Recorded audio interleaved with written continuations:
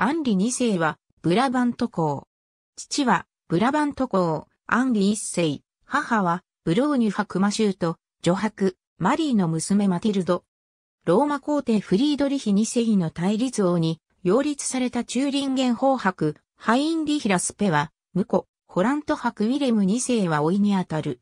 1215年、ローマ王、フィリップの娘マリアと結婚、6人の子を設けた。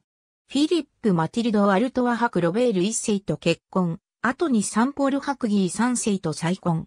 ベアトリス・チューリンゲン法伯、対立ローマ王、ハインリヒラスペと結婚、後にフランドル伯ギオーム2世と再婚。